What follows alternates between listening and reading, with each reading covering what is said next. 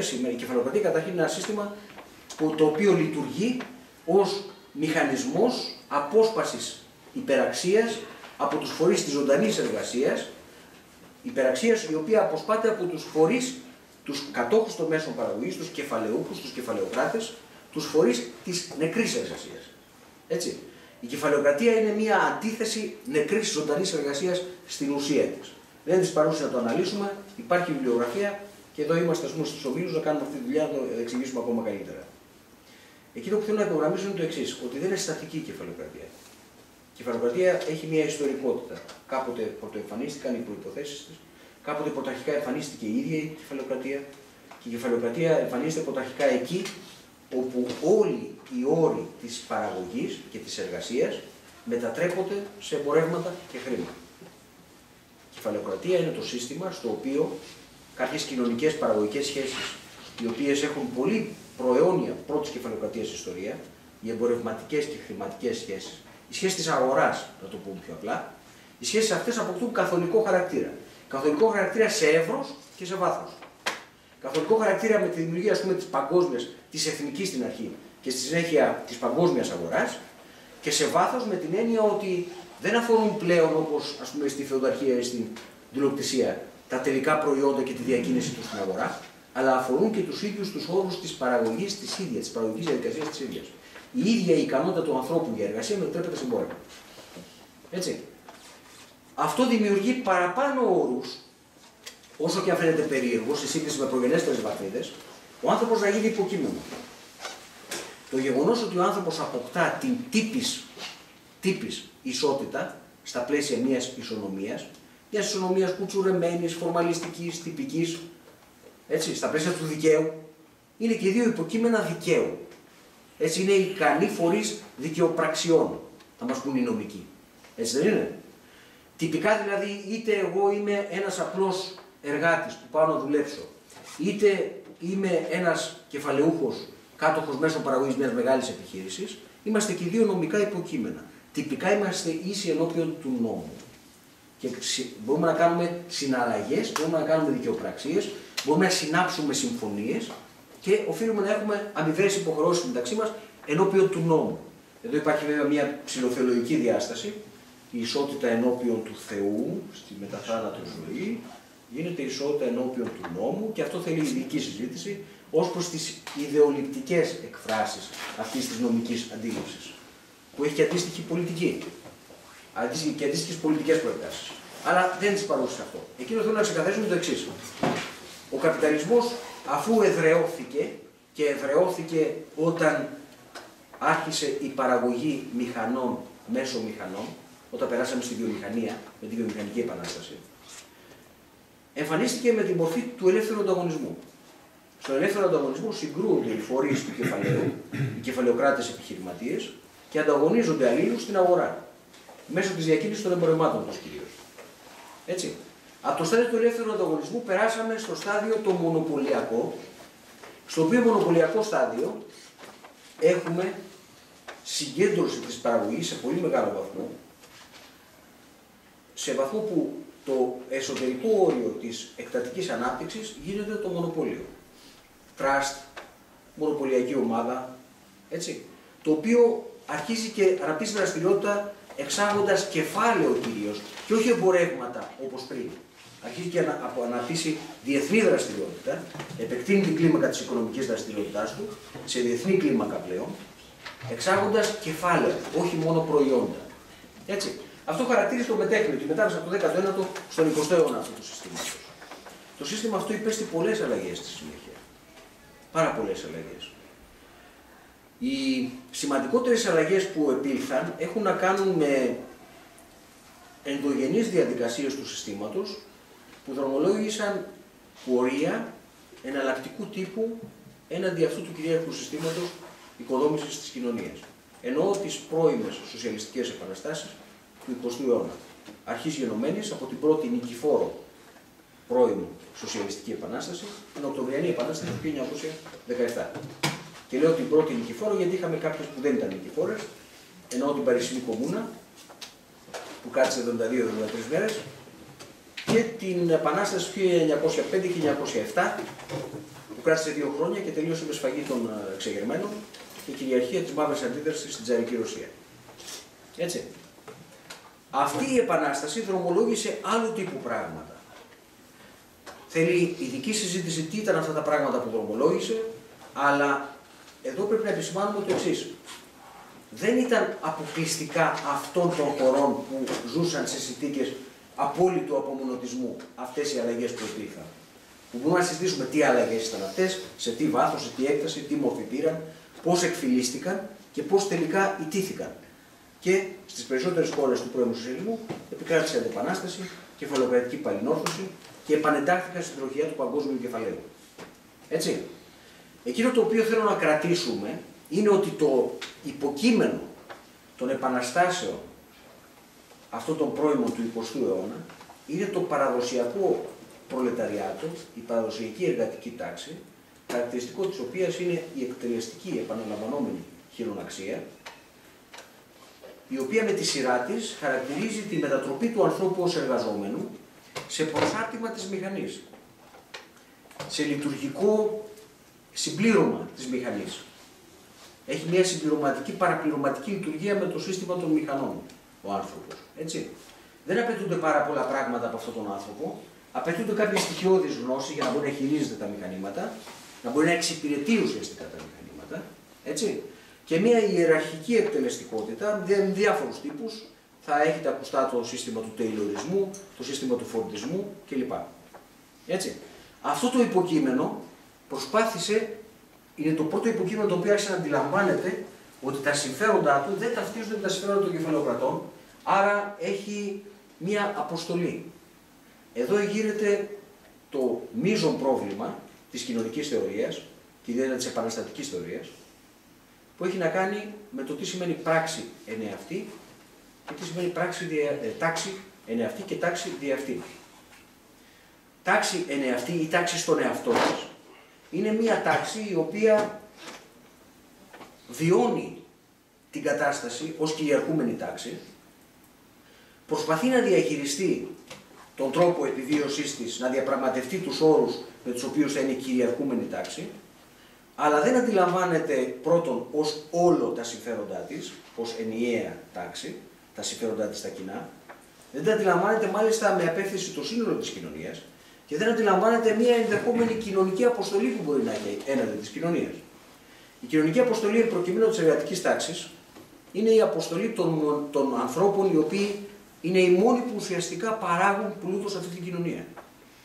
Με τη ζωντανή τους εργασία παράγουν πλούτος σε αυτή την κοινωνία. Στο δίπολο, δηλαδή κεφάλαιο εργασία, ο κεφαλοκράτη όλο και πιο πολύ δείχνει ότι γίνεται ένα παράσιτο. Έχει εκπληρώσει την κοινωνική του αποστολή. Μάλιστα από την εποχή εκείνη στην οποία η λειτουργία της διοίκηση, της εποπτείας, του ελέγχου αποδόθηκε σε μέρος της μισθωτής εργασίας, έχασαν κάθε κοινωνικό ρόλο. Έχασαν κάθε δικαίωση της ύπαρξής τους ως τάξη κεφαλαιοκράτε. Έτσι. Αυτό ισχύει από τα τέλη του 19ου αιώνα ουσιαστικά. Πολύ περισσότερο στις μέρες μας. Άρα εγείρεται το ζήτημα κατά πόσο οι κυριαρχούμενοι συνειδητοποιούν την προοπτική που πρεσβεύει η ίδια η ύπαρξη και η λειτουργία τους ως τάξη στην παραγωγή και συνολικά στην κοινωνία ότι είναι φορείς μιας εναλλακτικής προοπτικής. Ότι εφόσον κοινωνικοποιείται η παραγωγή και εφόσον η κοινωνική εργασία παίρνει τη μορφή της μισθωτής εργασίας του ζωντανού εργαζόμενου απέναντι στο φορέα της νεκρής εργασίας, του κεφαλαιούχο, τότε το κοινωνικό, άρα και η προοπτική ενοποίησης της ανθρωπότητας, είναι υπόθεση αυτών που εργάζονται. Είναι υπόθεση των μισθωτών εργαζόμενων. Που από καταπιεζόμενη τάξη που υφίσταται την εκμετάλλευση, πρέπει να οργανωθεί έτσι που να διεκδικήσει την ανατροπή αυτής της τάξης πραγμάτων με επαναστατικό τρόπο. Δεν υπάρχει άλλος τρόπος. Έτσι. Το έχει δείξει αυτό η ιστορία από τον περασμένο αιώνα. Με επαναστατικό τρόπο να διεκδικήσει ανατροπή αυτής της κατάστασης και δρομολόγηση άλλου τύπου ανάπτυξης, άλλου τύπου σχέσεων στην κοινωνία. Εδώ πρέπει να επισημάνω το εξής. Η ιστορία του 20ου αιώνα ήταν πολύ τραγική, πολύ αντιφατική και ένα από τα χαρακτηριστικά της είναι το γεγονός ότι αυτές οι πρώιμες επαναστάσεις συνοδεύτηκαν από μια μεγάλη κρίση, τη δεύτερη μεγάλη δομική κρίση του συστήματος, του 1929-33, στα πλαίσια της οποίας και ως αποτέλεσμα της οποίας τέθηκαν στο προσκήνιο μορφές ρυθμιστικών παρεμβάσεων του κράτους που θα επέτρεπαν στους κυρίαρχους, στους αστούς, στους κεφαλαιούχους, να διονύσουν την ύπαρξή τους, διαχειριζόμενοι τη δυσαρέσκεια και την εξεγερσιακή διάθεση των από κάτω, και μάλιστα σε συνθήκες τις οποίες οι από κάτω μπορούσαν να δουν γεωγραφικά πού κάποιοι άλλοι έχουν νικήσει έτσι, και έχουν δρομολογήσει άλλου τύπου πορεία ανάπτυξης. Αυτό τους έκανε να τρέμουν τους αστούς στην κυριολεξία. Αυτό έδινε δύναμη στη διεκδίκηση των εργαζομένων, στο πιο απλό συνδικαλιστικό επίπεδο, στον, στον τρόπο με τον οποίο πουλούσαν την εργασιακή τους δύναμη, στον τρόπο με τον οποίο μπορούσαν να συνάψουν συλλογικές συμβάσεις εργασίας, με απεργίες, με κινητοποιήσεις, με διεκδικήσεις μαζικές. Έτσι. Από το επίπεδο δηλαδή το εργοστασιακό της επιχείρησης του κάθε εργαζόμενου, μέχρι το επίπεδο της πολιτικής έκφρασης, όπου εκεί επέρχεται η ιστορία στον άλλο βαθμό συνειδητοποίηση της τάξης για τον εαυτό της, της τάξης διεύτη, της τάξης δηλαδή με συγκεκριμένη ιστορική κοινωνική αποστολή, που πρέπει να τη φέρει σε πέραση. Να αλλάξει την κοινωνία συνολικά. Να ηγηθεί της αλλαγής της κοινωνίας. Να ανατρέψει τις κυρίαρχε σχέσεις παραγωγής, τις κεφαλαιοκρατικές και να δρομολογήσει την πορεία που λέγεται σοσιαλισμός, κομμουνισμός ή ενοποιημένη ανθρωπότητα. Έτσι.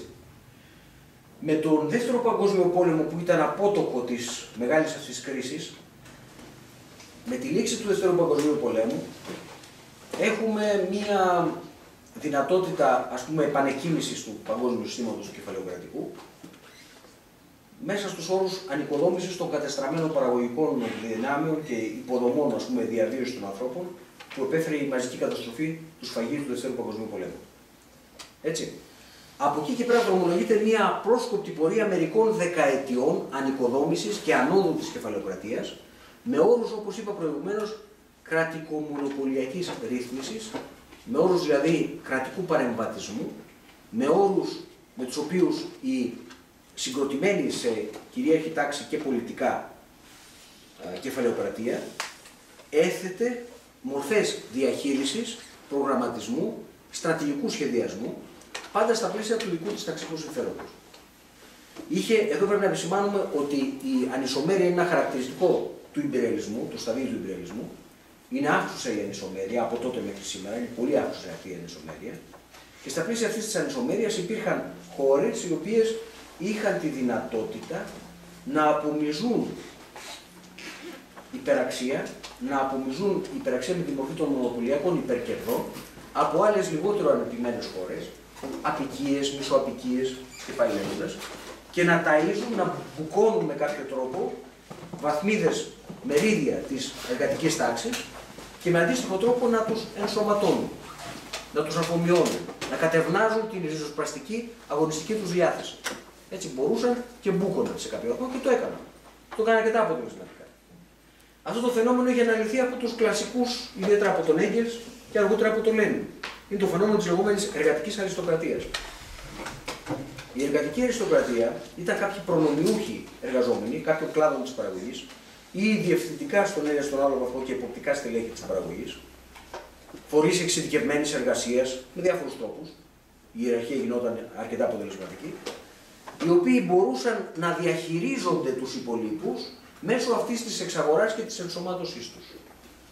Αυτό περνούσε όλο το σώμα της εργατικής τάξης μέχρι και την πολιτική της έκφραση. Γι' αυτό επέφερε διχασμό και συγκρούσεις στο ίδιο το εργατικό κίνημα και στην πολιτική έκφραση του εργατικού κινήματος, σε εθνικό επίπεδο και σε διεθνές επίπεδο. Είναι χαρακτηριστικό το εξής, και αυτό θέλω να το τονίσω ιδιαίτερα από την άποψη ενός ιστορικού παραδείγματος που συχνά διαφεύγει της προσοχής. Οι πολιτικές εκφράσεις της εργατικής τάξης ακόμα και αυτές που ήταν οι πιο επαναστατικές και ριζοσπαστικές στην ιστορία, δεν είναι δεδομένο ότι θα παραμείνουν τέτοιες με αυτή την ιδιότητα του ριζοσπαστισμού και της επαναστατικότητας ΕΣΑΗ. Έτσι. Ε, Παραδείγματος χάρη, το κόμμα το οποίο ιδρύθηκε με την άμεση εν πωλής καθοδήγηση και εποπτεία των Μάρξ και Έγκελς, είναι αυτό που ξέρουμε ως σοσιαλδημοκρατικό κόμμα της Γερμανίας σήμερα. Με Σρέντερ, τον τελευταίο πρωθυπουργό, να είναι επικεφαλής του και να εφαρμόζουν φιλελεύθερε πολιτικές κλπ. Έτσι. Δηλαδή υπάρχει μια πορεία που αυτή η αριστοκρατία και τα εκφυλιστικά φαινόμενα χειραγώγησης της εργασίας παίρνουν συνδικαλιστικέ αλλά και πολιτικές εκφράσεις και οδηγούν σε εκμυδένιση τελικά του ριζοσπαστισμού και μετατρέπουν πάλι ποτέ φορείς επαναστατικής πολιτικής διάθεσης, φορείς επαναστατικών υποκειμένων, πολιτικούς, τους μετατρέπουν σε φορείς χειραγώγησης του αντίον της εργασίας. Σε φορείς κατευνασμού, ποδηγέτηση του εργατικού κινήματος. Σε μηχανισμούς που αφαιρούν κάθε επαναστατική διάθεση και προοπτική από την εργατική τάξη. Αυτό το ζήσαμε στον 20ο αιώνα αρκετά καλά. Έτσι. Από την εποχή, ας πούμε, από τις αρχές του 20ου αιώνα, άρχισε να εμφανίζεται η χρεοκοπία της δεύτερης διεθνούς, που ήταν τα πρώτα σοσιαλδημοκρατικά κόμματα. Άρχισε να εμφανίζεται μια μειοψηφικά στην αρχή η επαναστατική πτέρυγα του κινήματος τότε με τους Μπολσεβίκους και το Λένιν με την κεφαλή. Με τη Ρωσία που ήταν ο ασθενής κρίκο εκείνης της εποχής στο σύστημα το παγκόσμιο του ιμπεριαλισμού. Έτσι. Και έκτοτε υπήρθε ο πρώτος τότε μεγάλος διχασμός. Είχαν γίνει και άλλοι διχασμοί προηγούμενοι, είχαν γίνει και άλλες διασπάσεις του επαναστατικού κινήματος. Αλλά αυτός ο, αυτή η διάσπαση του επαναστατικού κινήματος είναι εξαιρετικά διδακτική για την μετέπειτα πορεία. Εμφανίστηκαν τότε τα πιο συνεπή επαναστατικά κόμματα, τα κόμματα τα τρίτο διεθνιστικά τα λεγόμενα, τα κόμματα της τρίτης διεθνούς, τα οποία με τη σειρά τους, για λόγους αντίστοιχους, στο νέο στάδιο της κεφαλαιοκρατίας, άρχισαν και αυτά να εκφυλίζουν. Μέχρι που έχουν παραμορφωθεί και εκφυλιστεί κατά την ταπεινή μου άποψη, αν όχι σε πλήρης, στο μεγαλύτερο βαθμό τους. Σε παγκόσμια κλίμακα, τουλάχιστον σε ευρωπαϊκή κλίμακα, αυτό είναι χειροπιαστό. Έτσι. Τώρα, μερικά καινούργια στοιχεία τα οποία πρέπει να λάβουν πολύ σοβαρά υπόψη μας. Πρώτον, οι πρώιμες σοσιαλιστικές επαναστάσεις αρχής γενομένε από την Οκτωβριανή Επανάσταση έχουν βασικό υποκείμενο την εργασία της χειρονακτικής εκτελεστικότητας, την επαναλαμβανόμενη εργασία, εξού και η οργάνωση του κόμματος τριτεδιεθνιστικού, λεγόμενου νέου τύπου, ενός κόμματος με αυστηρή ιεραρχία και το δημοκρατικό συγκεντρωτισμό να εννοείται κατεξοχήν ο συγκεντρωτισμό και η ιεραρχία που να έχει τα κέντρα λήψης των αποφάσεων και τους φορείς της γνώσης να είναι ψηλά και τα υπόλοιπα μέλη και στελέχη να κλιμακώνονται ως προς την εκτελεστικότητα των καθηκόντων τους και την υπακοή. Υπάρχει δηλαδή μια απέτηση ας πούμε αντίστοιχη που προσωμίαζε, δεν θέλω να πω ταυτίζεται, αλλά προσωμίαζε με την πραγματική υπαγωγή της εργασίας στο κεφάλαιο μέσω της εκμηχάνησης και βιομηχανικοποίησης της παραγωγής. Έτσι, υπήρχε η καθοδήγηση, τα ηγετικά κλιμάκια που επεξεργάζονταν την θεωρία, την πολιτική κλπ. Χάραζαν στρατηγικές τακτικές και υπήρχε η εκτελεστικότητα εκ μέρους των μελών στελεχών μεσαίου και χαμηλότερου επίπεδου. Έτσι. Αυτό είναι πολύ χαρακτηριστικό. Συγγνώμη που σα διακόπτω και μοιάζει πάρα πολύ με το εργοστάσιο. Ναι. Το καπιταλιστικό εργοστάσιο. Έχεις απολύτω. απολύτω. Λοιπόν, το οποίο ήταν αναγκαίο και το οποίο ήταν μια πολύ αποτελεσματική τότε πολεμική μηχανή. Γιατί το κεφάλαιο ήταν τέτοιο, η εργασία ήταν τέτοια και ήταν αναγκαία η δομή αυτού του κόμματος, όσο και αν τη βλέπουμε σήμερα να, να τρώει τα ιστορικά ψωμιά της. Είναι απεχθή. Θέλει συζήτηση. Αυτό είναι στην αισθητική συνείδηση όπως έτσι. Αλλά δεν αρκεί η αισθητική συνείδηση για τη συνειδητοποίηση του τι γίνεται. Έχεις απόλυτο δίκιο σε αυτό. Ότι μπορεί να εκφράζεται ω απεκθέσεις σήμερα. Αλλά πρέπει να το δεις. Είναι τα όπλα του κυρίαρχου αυτά. Σίγουρα. Ο τελειωρισμό φορτισμό στο εργοστάσιο και στην πολιτική είναι τα όπλα του κυρίαρχου. Θα μου επιτρέψεις λίγη επαγγελματική διαστροφή; Θα πάρεις τα όπλα του κυρίαρχου για να τον αντιμετωπίσεις τα χρόνια. Ε, θα σου πω ένα παράδειγμα μόνο, για να μην διασπάσουμε τελείω της συζήτησης. Θα σου πω ένα παράδειγμα μόνο. Δεν μπορεί ο άλλος να έχει βαρύ πυροβολικό απέναντί σου και εσύ να χρησιμοποιείς ρόδο πέταλο.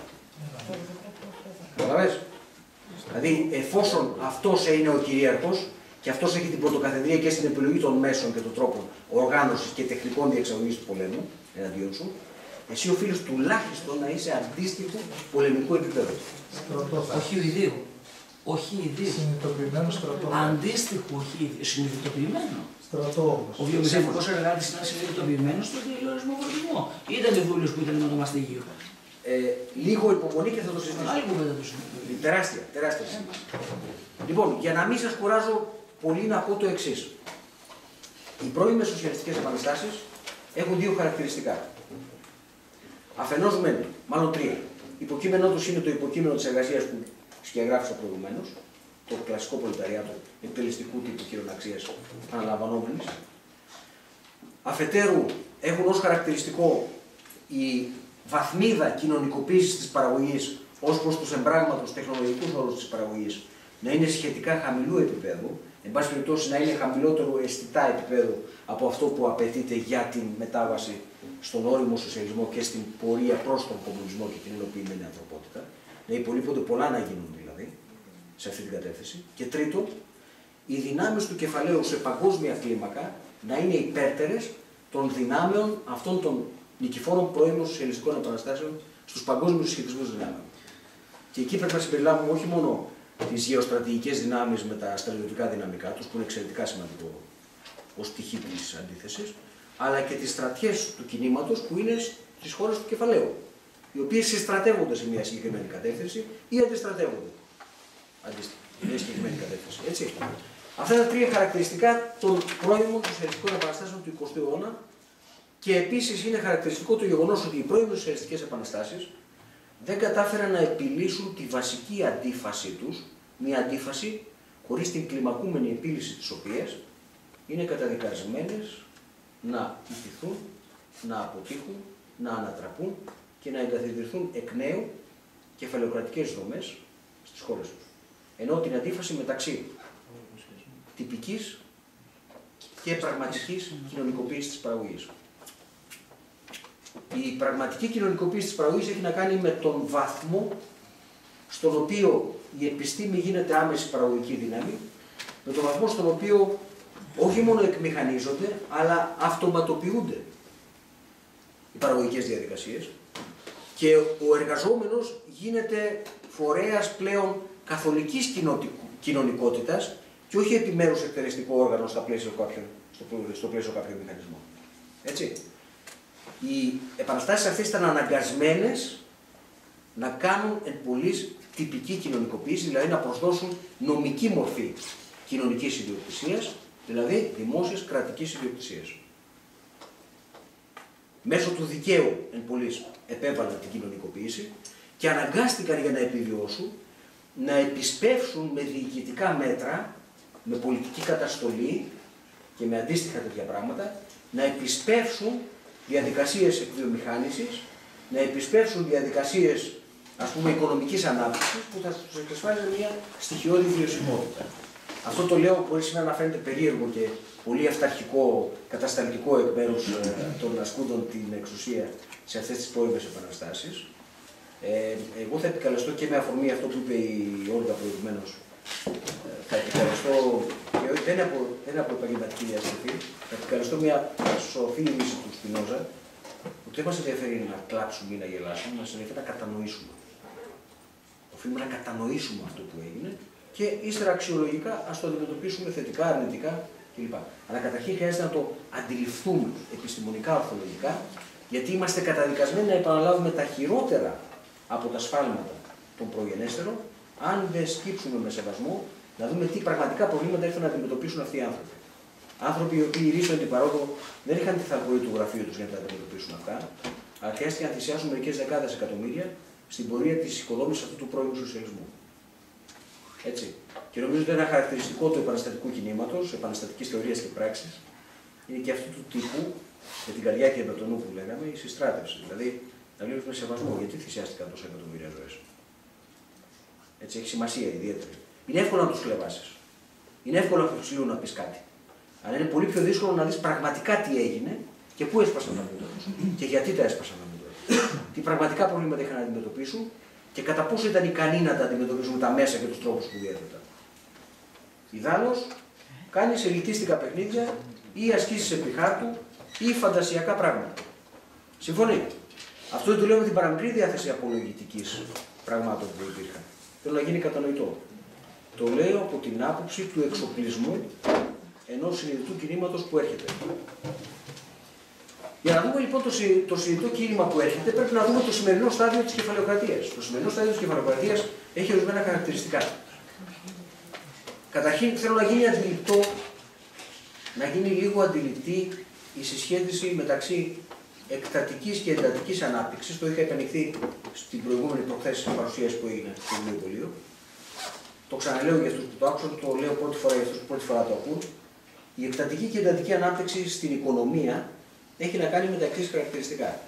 Στην, στην εκτατική ανάπτυξη έχουμε ανάπτυξη σε έκταση, κατεξοχήν ποσοτική ανάπτυξη, ανάπτυξη της οικονομικής δραστηριότητας στη βάση μιας δεδομένης, θεωρούμενης ως παγιωμένης τεχνολογίας παραγωγής και με αντίστοιχους σχετικά μετάβλητους κοινωνικούς, οικονομικούς κλπ. όρους.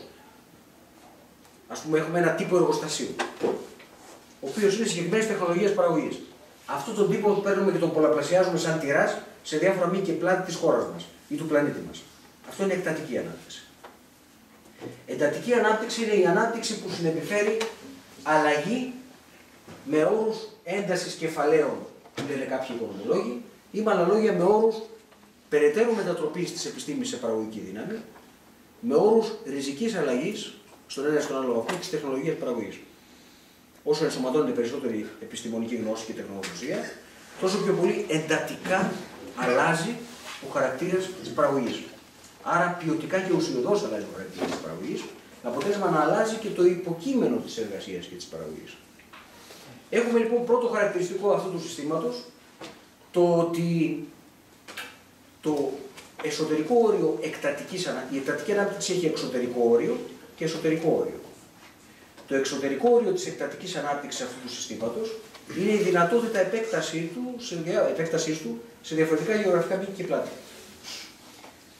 Να υπενθυμίσω ότι με τις πρώιμες σοσιαλιστικές επαναστάσεις πάνω από το 1 τρίτο των πληθυσμών του πλανήτη μπήκαν σε διαδικασίες που συρρήκνωσαν αυτό το όριο εκτατικής ανάπτυξης του υπεριαλισμού. Αυτό δεν ήταν μια ποσοτική απλή αλλαγή, δεν υπάρχει καθαρά ποσοτική αλλαγή.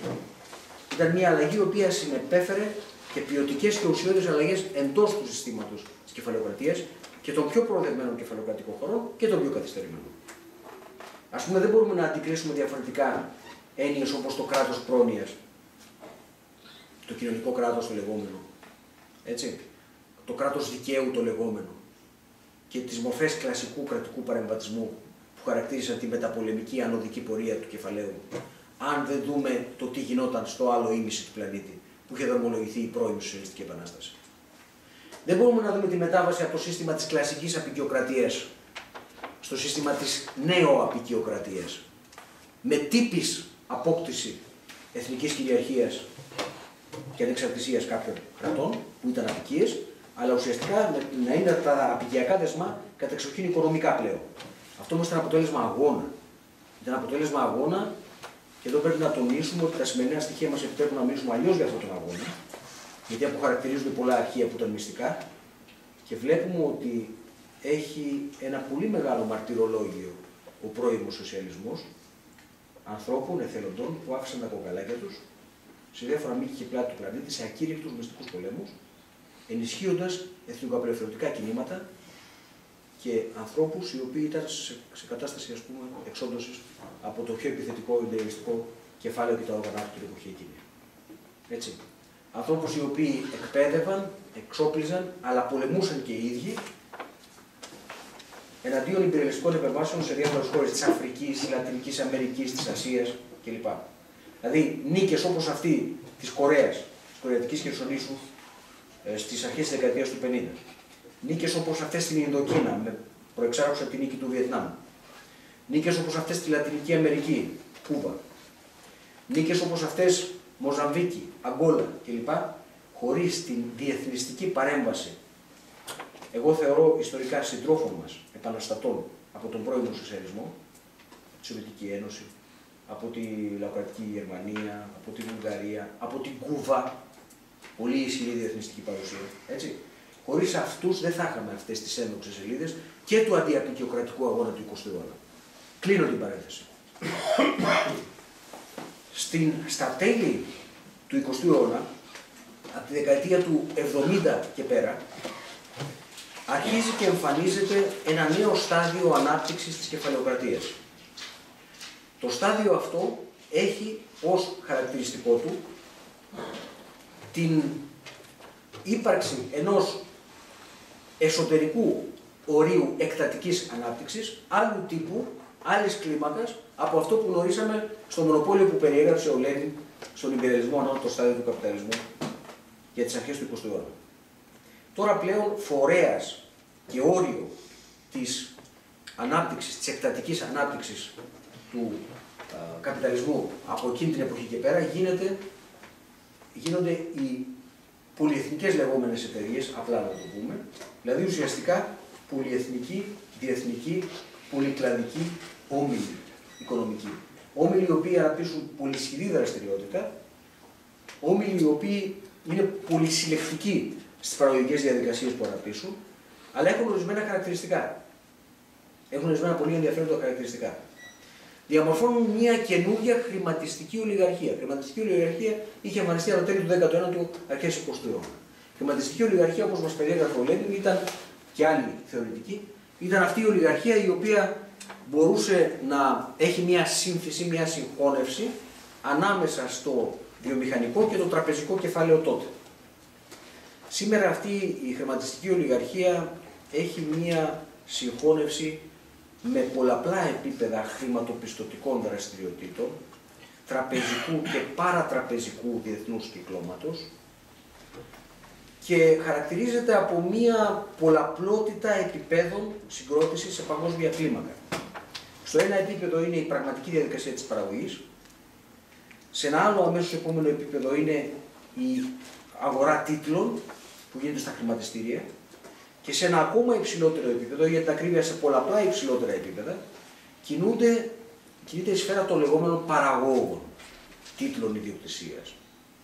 Αυτή η πολλαπλότητα των διαμεσολαβημένων σχέσεων του χρηματοπιστωτικού κεφαλαίου με την άμεση παραγωγή, με την άμεση διαδικασία της βιομηχανίας και της ικανοποίησης ανθρώπινων αναγκών, δημιουργεί μια τεράστια δυνατότητα στο κεφάλαιο να ελίσσεται και να κινείται ακαριέα σε πλανητική κλίμακα. Αξιοποιώντας μάλιστα ορισμένες τεχνολογίες, καταφέρνει αυτό το χρηματοπιστωτικό κεφάλαιο που γίνεται η αιχμή του δόρατος, η αιχμή του δόρατος του παγκόσμιου κεφαλαίου, το πιο επιθετικό κεφάλαιο γίνεται, αυτό, γίνεται αυτή η νέα χρηματιστική ολιγαρχία με το χρηματοπιστωτικό και τα παράγωγα να είναι στην προμετωπίδα ας πούμε, του συστήματος, δημιουργείται δυνατότητα με τη χρήση ψηφιοποιημένων μορφών χρήματος και εφαρμογών διαδικτύωσης σε πλανητική κλίμακα, δημιουργείται δυνατότητα ακαριαίων ροών κεφαλαίου, άρα παρεμβάσεων όσον αφορά παραγωγικές διαδικασίες σε παγκόσμια κλίμακα. Δεν είναι απλώς εξαγωγή κεφαλαίου. Περνάμε σε ένα άλλο χαρακτηριστικό, το οποίο είναι η τεχνολογική εκτήληξη παραγωγικών διαδικασιών σε διάφορα μήκη και πλάτη του πλανήτη. Έτσι. Εδώ επιτυχάνεται με κάποιο τρόπο τεχνική τεχνολογική ενοποίηση του πλανήτη στα πλαίσια αυτών των ομίλων. Επιτυχάνεται επίσης κάτι το οποίο δεν το είχαμε προηγουμένως. Επιτυχάνεται παγκοσμιοποιούμενος στα πλαίσια αυτών των ομίλων τεχνολογικός καταμερισμός εργασίας σε παγκόσμια κλίμακα, δηλαδή οι όροι παραγωγής και αναπαραγωγής της εργασίας ως υποκειμένου ε, της παραγωγής, της εργατικής τάξης ως υποκειμένου ε, της παραγωγής, οι όροι αυτοί γίνονται παγκόσμιοι. Και μετατρέπεται, εδώ υπάρχει ένα διτό χαρακτηριστικό, στο οποίο ευχαριστώ την προσοχή σας γιατί ελοχεύει μια μεγάλη αντίφαση. Αφενός μεν η εναπομείνασα εκτελεστική εργασία που είναι τεράστια σε παγκόσμια κλίμακα και εξακολουθεί πληθυσμιακά η βασική εργασία να είναι εκτελεστικού, επαναλαμβανόμενου και βαρτικού τύπου σε πλανητική κλίμακα. Η εναπομείνασα λοιπόν εκτελεστική εργασία υπάγεται πλέον πραγματικά στο κεφάλαιο και όχι τυπικά σε παγκόσμια κλίμακα, ενώ τα πιο προκεχωρημένα φυλάκια ενός νέου υποκειμένου της εργασίας, του υποκειμένου της όλο και πιο πολύ διανοητικής, επιστημονικής, δημιουργικής εργασίας, της ανανεούμενης και αναπτυσσόμενης εργασίας, περνούν σε μια κατάσταση τυπικής υπαγωγής στο κεφάλαιο, δηλαδή το κεφάλαιο γίνεται αναντίστοιχη μορφή συγκρότησης, οργάνωσης, σχέσεων παραγωγής για τους φορείς αυτού του νέου τύπου της εργασίας, της ανανεούμενης, αναπτυσσόμενης, δημιουργικής εργασίας. Έτσι. Αυτό είναι εξαιρετικά σημαντικό. Εξαιρετικά σημαντικό. Υπάρχει μια αντίφαση στα πλαίσια του ίδιου του κεφαλαίου και στα πλαίσια των ίδιων των στρατιών της εργασίας. Υπάρχει μια διαφοροποίηση του υποκειμένου της εργασίας. Σε επίπεδο άμεσα παραγωγικό. Σε επίπεδο εμπλοκής τους επαγγελματικής στο πώς βιοπορίζονται οι άνθρωποι τα προστοζήν στην εποχή μας. Έτσι. Ένα πρώτο χαρακτηριστικό που πρέπει να λάβουμε πολύ σοβαρά υπόψη μας είναι ότι έχει λίγο πολύ τελειώσει το μοίρασμα του κόσμου ανάμεσα στις ισχυρότερες μονοπωλιακές ενώσεις τέτοιου τύπου που σας είπα προηγουμένως, πολυεθνικά πολυκλαδικά μονοπωλία, έχει προσφερθεί με την ήττα που υπέστησαν οι πρώιμες σοσιαλιστικές επαναστάσεις ένα μια τεράστια ευκαιρία ληστρικής επέκτασης του κεφαλαίου ξαναπροσδιορίστηκε το όριο εκτατικής του ανάπτυξης, όχι όμως απλά εκτατικά, αλλά εντάσσοντας ένα εξαιρετικά ειδικευμένο σε πολλούς τομείς προσωπικό, με όρους εξευτελιστικούς μισθωτής εργασίας και άλλων μορφών εκμετάλλευσης. Αυτό έδωσε μια τρομερή ανάσταση στο κεφαλαίο. Τρομερή ανάσταση στο κεφαλαίο. Έτσι. Και επιπλέον δρομολογείται μια διαδικασία στα πλαίσια της οποίας δημιουργούνται αυτά που γνωρίσαμε ως μηχανισμούς κρατικομονοπολιακής ρύθμισης στα μέσα ας πούμε, του 20ου αιώνα, δημιουργούνται παραθεσμοί, θεσμικά και εξωθεσμικά όργανα, παγκόσμιας πολιτικής συγκρότησης και εκπόνησης στρατηγικών για το χρηματοπιστωτικό κεφάλαιο της εποχής μας, για τη χρηματιστική ολιγαρχία της εποχής μας, να είμαστε ακριβέστεροι, οι οποίοι δημιουργούν δομές όχι μόνο διακρατικό-μονοπωλιακής ρύθμισης, αλλά δομές επιβολής της κυριαρχίας αυτής της ολιγαρχίας σε διεθνικό υπερεθνικό επίπεδο. Προβάλλουν μάλιστα ευθαρσώς αξιώσεις παγκόσμιας διακυβέρνησης. Παγκόσμιας επιβολής της δικτατορίας τους. Παγκόσμιας επιβολής δικτατορίας διαφόρων οργάνων, θα τα έχετε ακούσει. Είναι το Διεθνές Νομισματικό Ταμείο, είναι η Παγκοσμία Τράπεζα, είναι οι G7-8 που παίζουν, είναι οι G20 που παίζουν, οι ισχυρότερες χώρες. Έτσι. Μία σειρά άλλοι θεσμοί και παραθεσμοί που ξέρουμε ότι λειτουργούν. Είναι κάποιοι οίκοι αξιολόγησης που αντίστοιχα ρυθμίζουν διάφορες οικονομικές διαδικασίες. Είναι πολλά τα κέντρα και παράκέντρα που δραστηριοποιούνται σε αυτή την κατεύθυνση. Πρέπει να επισημάνω όμως ότι με την διάλυση των χωρών του πρώιμου σοσιαλισμού, των περισσότερων, την επικράτηση αντιπαράστασης, εμφανίζονται καινούργια πράγματα. Χώρες οι οποίες ήταν ας πούμε στην περιφέρεια του παγκόσμιου κεφαλαιοκρατικού συστήματος, αρχίζουν και διεκδικούν άλλη θέση και ρόλο. Δηλαδή, στον 20ο αιώνα είχαμε συνηθίσει να είναι τρία τα βασικά κέντρα των ισχυρότερων ως προς το κεφάλαιο χωρών, άρα τρία τα βασικά κέντρα αντίστοιχων περιφερειακών ολοκληρώσεων και διεθνών παρεμβάσεων σε επίπεδο σχετισμών δυνάμεων και χαράξη στρατηγικών. Και ήταν αυτά, το βορειοαμερικανικό με επικεφαλής στις ΗΠΑ, το δυτικό ευρωπαϊκό με επικεφαλής στον γερμανο-γαλλικό άξονα και την Αγγλία να παίζει με διάφορους τρόπους και κλιμακωτά τις υπόλοιπες χώρες ισχυρές όπως το κεφάλαιο και της Άπο Ανατολής με επικεφαλής στην Ιαπωνία. Αυτά τα τρία παραδοσιακά κέντρα του 20ου αιώνα κληροδοτήματα, αν θέλετε, του, του παραδοσιακού υπερελισμού του 20ου αιώνα. Σήμερα γύρονται στο προσκήνιο άλλες ισοματώσει, άλλα υποκείμενα υπερελιστικού τύπου με άλλες αξιώσεις. Δημιουργούνται άλλα κέντρα. Με χαρακτηριστικό τα BRICS, παραδείγματος χάρη. Τα οποία δεν ξέρω κατά πόσο θα παραμείνουν ένας πόλος, αλλά τώρα είναι εμφανές ότι δημιουργούν ένα εκολαπτώμενο πόλο με αξιώσεις διεκδίκησης παγκόσμιας κυριαρχίας. Με άλλα λόγια, η πρωτοκαθεδρία των παραδοσιακών ισχυρών του 20ου αιώνα πρώτη φορά τίθεται ένα αμφιβόλο. Και τίθεται ένα αμφιβόλο από μια ομάδα χωρών, δύο από τις οποίες νέες ανερχόμενες υπερδυνάμεις έχουν περάσει από τις δύο μεγαλύτερες πρώιμες σοσιαλιστικές επαναστάσεις του 20ου αιώνα, με ό,τι αυτό συνεπάγεται, και οι υπόλοιπες των οποίων έχουν διαμορφωθεί ως ανερχόμενες δυνάμεις σε στενή συνεργασία, σε σχέση αν θέλετε ολοκλήρωσης, τεχνολογικής και οικονομικής συνεργασίας με τις χώρες αυτές του πρώιμου σοσιαλισμού.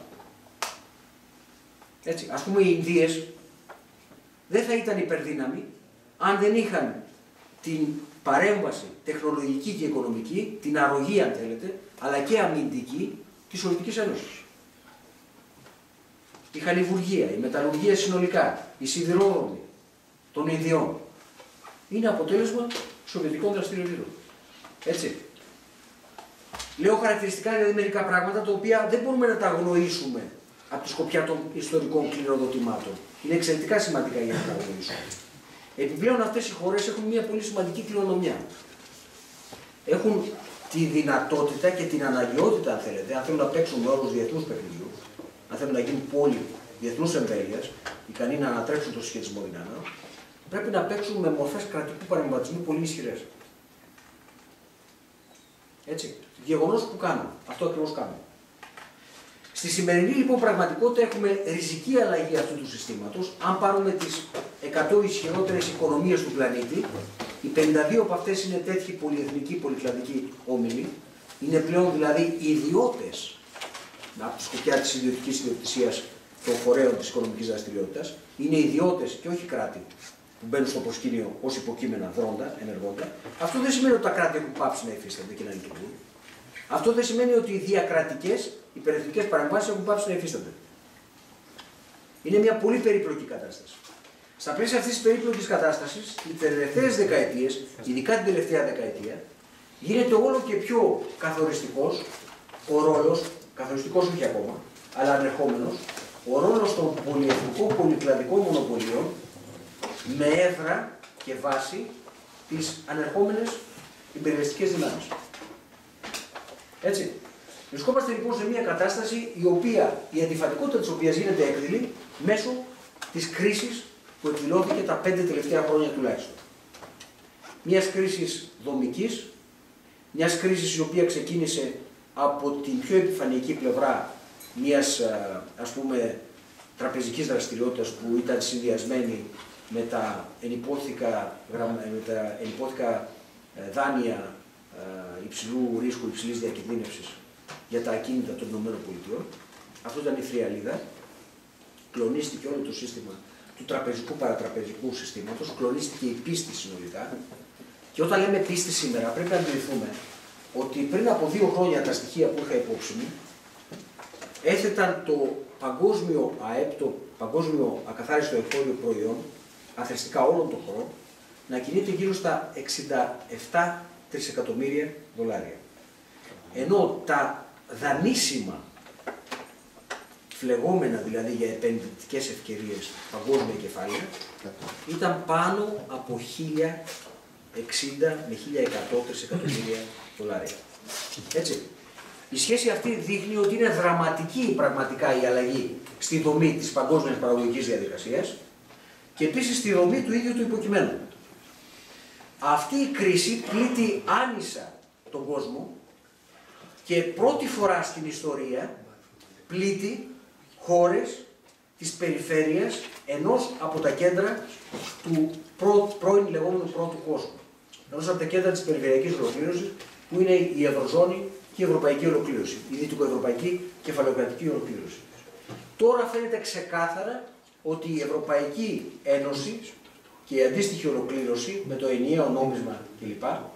είναι μια χρηματοπιστωτική φυλακή των λαών, ένα οικολαπτήριο ανισοτήτων, ένα οικολαπτήριο ανισομέρειας, που λειτουργεί ως πολλαπλασιαστής ισχύως των ισχυρών και ως πολλαπλασιαστής εξάρτησης των ανίσχυρων.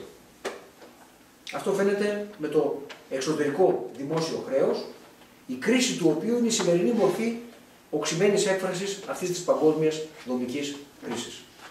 Έτσι. Συνεπώς, βρισκόμαστε σε μια πρωτοφανή κατάσταση. Για να ξανάρθουμε στο υποκείμενο. Τόσο ώρα μιλούσαμε για το ποιο είναι το διακύβευμα. Το διακύβευμα είναι και παραμένει επιτακτικότερο από ποτέ η ενοποίηση της ανθρωπότητας. Ενοποιημένη ανθρωπότητα είναι αυτό που ο Μάρξ αποκαλούσε κομμουνισμό. Ενοποιημένη ανθρωπότητα είναι η ανθρωπότητα χωρίς εκμετάλλευση, χωρίς καταπίεση. Έτσι. Είναι η ανθρωπότητα η οποία είναι ενοποιημένη ως προς τη βάση της οικονομικής παραγωγής της και ως προς όλες τις εκφάνσεις αυτής της κοινωνίας. Ουδέποτε η ανθρωπότητα δεν ήταν τόσο ενοποιημένη σε τεχνολογική, πολιτισμική, επικοινωνιακή, ενεργειακή βάση όσο σήμερα. Θα μου επιτρέψετε μια παρομοίωση που την κάνω συχνά στα μαθήματά μου όταν μιλάω σε νεολαία, για να γίνει αντιληπτό το τι σημαίνει σήμερα με το παγκόσμιο σύστημα. Το παγκόσμιο σύστημα σήμερα είναι σαν ένας περίεργος οργανισμός. Γιατί είναι περίεργος οργανισμός; Γιατί μεταβολίζει πλέον πλανητικά με λίγο πολύ συντονισμένες κινήσεις έχουμε τηλεπικοινωνιακές ροές, πληροφορίες.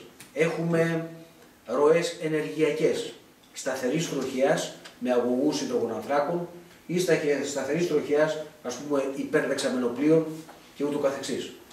Έχουμε δίκτυα υπέρ υψηλής τάσεως που ενώνουν υπήρους ολόκληρες. Έχουμε παραγωγικές διαδικασίες που ενοποιούνται ενοποιούνται διχαστικά στα πλαίσια αυτών των πολυεθνικών πολυκλαδικών μονοπωλίων που σας είπα προηγουμένως. Έτσι. Είναι δηλαδή σαν να έχουμε έναν οργανισμό ο οποίος έχει φλέβες και αρτηρίε, ας πούμε το ενεργειακό, είναι τέτοιου τύπου ανάγκες μεταβολισμού τη ανθρωπότητα. Παραγωγικών και μη ενεργειακών αναγκών του πλανήτη. Έτσι. Έχουμε ένα σύστημα το οποίο εκτελήσεται σε πλανητική κλίμακα. Έχουμε ένα σύστημα τηλεπικοινωνιών και διαδικτύωσης, διαδικτύωσης πλέον με παραγωγική εμβέλεια, δεν νοείται σήμερα πολυεθνική διεθνική παραγωγή, χωρίς διαδικτύωση παραγωγικών διαδικασιών, δηλαδή χωρίς διαδικτύωση της πληροφοριακής πλευράς της διοίκησης των παραγωγικών διαδικασιών. Έτσι. Είναι σαν να έχουμε δηλαδή περιφερειακό νευρικό σύστημα, στοιχεία κεντρικού νευρικού συστήματος σε αυτόν τον οργανισμό, αλλά τι δεν έχουμε. Δεν έχουμε εγκέφαλο. Με άλλα λόγια, φτάνει σε μια κατάσταση κρισιακή ο πλανήτης μας που συγκροτείται σπασμωδικά και αυθόρμητα με τον τρόπο που συγκροτείται, διχαστικά ενοποιούμενος εννοώ, ανισομερός, συγκροτείται σε ένα παγκόσμιο οργανισμό ο οποίος λειτουργεί ως ανεγκέφαλος ιονίου οργανισμός. Αυτό που καλείται να κάνει σήμερα η ανθρωπότητα είναι να δώσει εγκέφαλο, άρα συντεταγμένη συνειδητή ενοποίηση σε αυτό το πράγμα που παίρνει τερατώδεις μορφές, δημιουργεί νεοπλασίες, δημιουργεί κινδύνους εξαφάνισης της ίδιας ανθρωπότητας λόγω ανταγωνισμών απεριόριστης ισχύως. Με πολλαπλασιαστές ισχύως πλέον οι οποίοι είναι ασύλληπτοι σε σύγκριση με κάθε άλλη εποχή. Έτσι, εμπόλεμοι και μη. Διότι είναι πολλαπλασιαστής ισχύως ειρηνικός μεν, η πιθανότητα μαζικής οικολογικής καταστροφής από μια ανεξέλεγκτη τεχνολογική διαδικασία λόγω ανταγωνισμού και λόγω μη ενιαίου συντονισμού στην ανθρωπότητα, αλλά είναι μια πιθανότητα που είναι να αφανίσει την ανθρωπότητα. Δεν είναι επεξαγέλαση πλέον. Έτσι. Άρα, εκ των μόνο κάνε φόρος για την επιβίωση της ανθρωπότητας, κατά την ταπεινή μου άποψη, και όχι μόνο νομίζω, γίνεται ο αγώνας για την ενοποίηση της ανθρωπότητας. Δεν είναι ένα σύνθημα ουτοπικού ανθρωπιστικού χαρακτήρα δεν είναι ένα σύνθημα μιας πολύ απότερης απόμακρη προοπτικής μετά την τρίτη παρουσία θεολογικού τύπου. Είναι επιτακτικότατη ανάγκη επιβίωσης της ανθρωπότητας. Ο αγώνας για την ενοποίηση της ανθρωπότητας, με άλλα λόγια, ο αγώνας για τον κομμουνισμό, γίνεται πιο επιτακτικό σήμερα από ποτέ. Έλα μου όμως που με την ήττα των πρώιμων σοσιαλιστικών επαναστάσεων η κομμουνιστική προοπτική έχει απαξιωθεί, χρησιμοποιώ ένα όρο της πιάτσας πάρα πολύ, ένα που έχει καταφέρει να έχει ηθικοπολιτική ηγεμονία η άρχουσα τάξη και να λέει κοίτα να δεις οι άλλοι αποτύχανε. Είναι losers ελληνιστή. Θα πας με τους χαμένους. Έτσι. Πρέπει, με άλλα λόγια, είναι καταδικασμένο το κίνημα να επαναναδείξει τη ζωτική ανάγκη όσο ποτέ άλλοτε του κομμουνισμού όχι με την έννοια αυτού που γνωρίσαμε, το οποίο δεν ξέρω κατά πώ το γνωρίσαμε, σας είπα προηγουμένως ότι δεν το πολύ γνωρίσαμε, όχι με την έννοια ότι ήταν ανύπαρκτος όπως λένε μερικοί για να ξορκίσουν το κακό, γιατί στην αριστερά είχε επικρατήσει μια διτή μορφή θεολογίας, όπως σας έχω ξαναπεί σε μερικούς από εσάς. Θεολογία είναι το να λες ο σοσιαλισμό που γνωρίσαμε και να οργανώνεις μνημόσυνα αγιοποιητικού χαρακτήρα ό,τι γνωρίσαμε ήταν καλό καμωμένο ή τουλάχιστον μέχρι κάποια χρονολογία ή μέχρι κάποιον ηγέτη ο οποίος ήταν καλός. Μετά χάσαμε τη γραμμή, ας πούμε, και κάτι έγινε και το χάσαμε. Και να είναι καλά και ζωή σε εμάς. Αλλά το ίδιο πρέπει να, να, να ανακραναστήσουμε. Αυτό που νομίζουμε ότι γνωρίσαμε. Απ' την άλλη, υπάρχει στον αντίποδο αυτού του πράγματος μια δαιμονολογική προσέγγιση. Ενώ οι, οι μεν έχουν ευχές, ευχέλεια, μνημόσυνα, οι άλλοι έχουν κατάρες, αναθέματα, βαφτίζουν το υπαρκτό ανύπαρκτο. Ε, τώρα το πόσο ανύπαρκτο είναι αυτό, τις επιπτώσεις του οποίου ακόμα μπορούμε να αντιληφθούμε, ενώ έχουν περάσει τόσα χρόνια, θέλει πολύ φαντασία. Ε, θυμάμαι χαρακτηριστικά τον, ε, ένα από τα